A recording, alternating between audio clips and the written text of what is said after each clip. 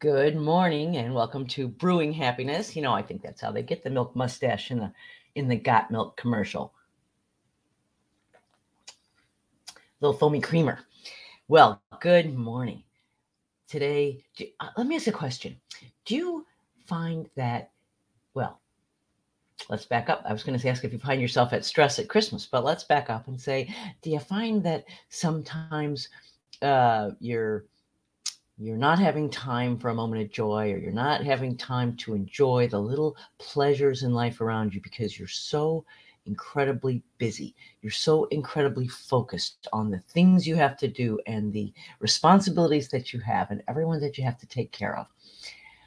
You know, that's what we're going to talk about today here on Brewing Happiness, a show where I like to say grab a cup of your, your favorite brew in the morning, whether it's coffee or tea or whether it's this is the morning or the coffee break or the evening for you.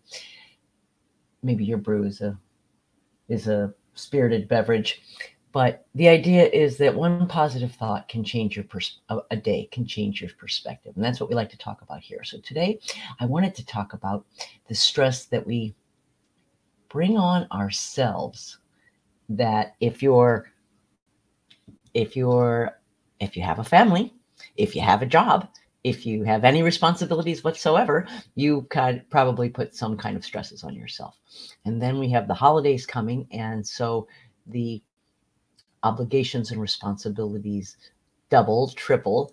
And so the stresses that we feel throughout the year double and triple in the holiday season. So today that's what I wanted to talk about is how can you let some of that go? And I guess for me, that I know that I was a young mom and I raised a, a house full, five children, with a full time job and uh, busy in all kinds of different activities. And I know those kind of pressures. There's always something you need to be doing, and the kids want to show you their piece of artwork, and you're like, yeah, yeah, but I just got to finish this email.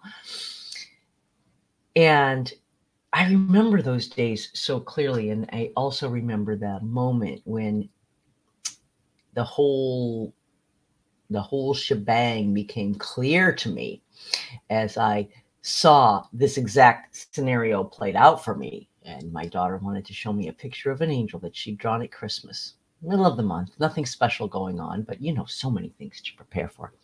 And I said, Yeah, yeah, I got to finish this email. And I remember seeing that look on her face, that crestfallen, uh, so proud of the angel she'd drawn, just wanted to share it with her mom. And I just, it, it was like a, a cataclysmic moment in my head. Everything came together as I realized, good morning, Marianne, as I realized that the stresses of, especially at the holidays, but a lot of the stresses that are in our lives are those that we impose on ourselves. We want to be perfect. We want to be there for everyone. We want our children to have the best experiences of all times. And in order to fulfill these expectations that we place on ourselves, we, we, take on more maybe than we can really handle. We we forget to leave any time in the schedule to take care of the person taking care of the rest of things. And all of a sudden it's overwhelming. And one night you can't decide what to have for dinner and you find yourself sobbing in the kitchen. Again, something that's happened to me. So, what's the solution? Well, there's a couple things, and that's what we're going to talk about today. Is a couple of ways to step back and have realistic expectations and joy in the holiday season, not stress, not work, not got tos, not have tos, but get tos and joy tos. That's what we're talking about today. So, uh, the first thing I want to think about is when you are planning your schedule and all the things you're committing to and the ways you want to do it, um, simple can be your friend, right? Um, I can remember wanting to bake cookies with my children and getting, oh my gosh, different recipes and ma- trying to make it all, everybody, all the different sprinkles and, and, and trying to create this fantastic experience. And the truth is, those kids don't care. They're there because they want a memory or they want to do something with you. They want to make a Christmas memory with you. If you stop at the store on your way home from work and buy a tube of sugar cookies and a and a container of icing and a little and you got a little food color at home in the ca- in the cabinet, right? That is a fun filled night for you and the kids. No muss, no fuss, low pressure. And when you think about things like this, you add that to other things in your life. Simplify is the best. We want to we want to make the best, we want to do the best, we want to look the best. And in this day of Pinterest and Instagram, we uh you know, in, in the days of everyone showing their beautiful, perfect lives and their their Pinterest accomplishments, we feel so much pressure to make everything beautiful and. Make it a memory. That's all that cares. Be there. Smile and laugh. Play some Christmas music. All that stuff is free. Spend time with your children. That's the memory that's going to be made, not how many different kinds of cookies or how many different kinds of icings or how many different kinds of sprinkles. The other thing to remember is to put time in your schedule this month, especially every month, but this month especially for you. Put on your calendar bubble bath or um, uh, a massage or a, a, an outing with friends for lunch or something that sound or maybe just an hour to sit in your backyard and read. Well, if you live in California. Something for you. What do you love to do? What's a what's something that recharges you? Taking a hike on the beach, taking a walk in the mountains, going to your park and reading your book sitting on your favorite bench. What's something for you? Because I guarantee you there's an hour or two in the coming weeks that you can devote to you. And remember, if you don't recharge, what happens? If you're not recharged, you're not there to give. I like to think of it this way when your cup runneth over, you are spilling love and joy and happiness and giving to everyone around you. But if your cup's not running over, we're going to hear a big sucking sound, right? You are the bringer of joy, but you have to, you got to take care of the cup, right? Okay, that's a really bad analogy, but you have to take care of yourself. The fountain, the, even a geyser, even a geyser rests occasionally, right? Uh, uh, everything has it, it, all things are in cycles, and there has to be a time for you to recharge your batteries. So when you're making your busy schedule, when you're when you're saying I can do that, I can do that, I need to do this, I need to do that, what can go? What can you cut out? What's good? What what what's on that list that really doesn't have to be? Or where what can you give up? Maybe you give up an hour of Netflix or an hour of no sound, sitting in peace and quiet. I don't know. These are the things I like to do. Um, build you a fire, stare into the fire for an hour. Not much more comforting and, and satisfying than that. Uh, anyway, these are things I like to do, but you do. You find what does what makes you what what brings you calmness? What brings you solace and peace? And how can you work a few of those extra moments into this extremely busy month? And then my last tip is as well, two more tips. Actually, I, I thought of one more. I'm going to put, I had a list of three, but I'm going to put one more on the list.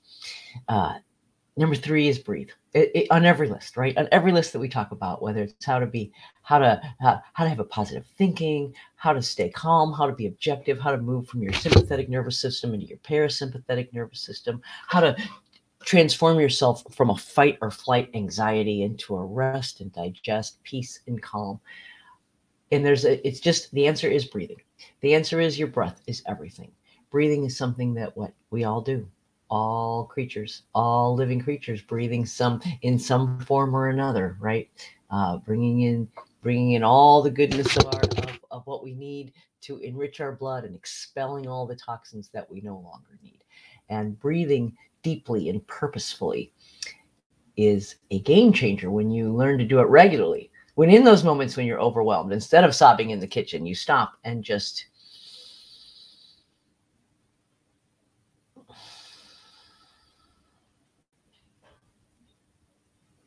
breathe in eight, count to three, breathe out 10. There are a thousand breathing counting methods. Go online, go to YouTube, a bazillion of them. But breathe yourself into calmness. Every morning when you wake up, breathe deeply every night before you go to bed. Breathe deeply. For me, um, I personally use my alarm. I have a breathing alarm set up on my phone, and it tells me when to. It's an app, and it tells me when to breathe, when to take some deep breaths. you know, 10 minutes of deep breathing a day can change your whole life.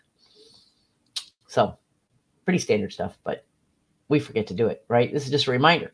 Take time for you Take time to breathe. And finally, the, the, the one I, I guess I'm going to throw in, which is again on every list, is gratitude. Come from gratitude.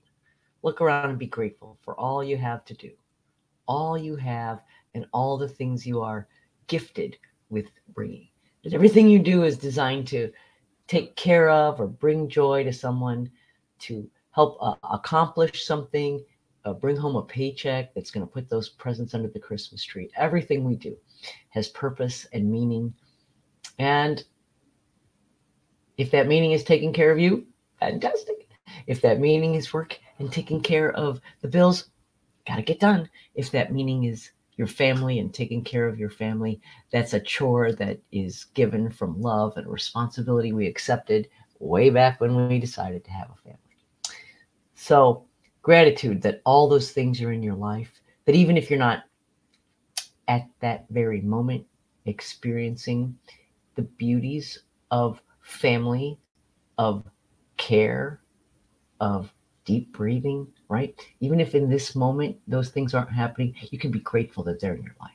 You can reach for, instead of reaching for despair or exasperation or annoyance or anger or all those places we can let ourselves go, if we reach for gratitude, it's a game changer. It's a mind shifter. It can immediately can fill us with love and awe and wonder. Let me see that angel, darling. I can't wait to see what you've drawn for me. So that's our show for today. Just a little bit of letting go. Let it go. Whatever it is that's bothering you, whatever expectations you have of the holiday season, let them go. Sit back and enjoy. The more you enjoy, the more joy you experience. Remember this this is my favorite saying living joy is giving joy.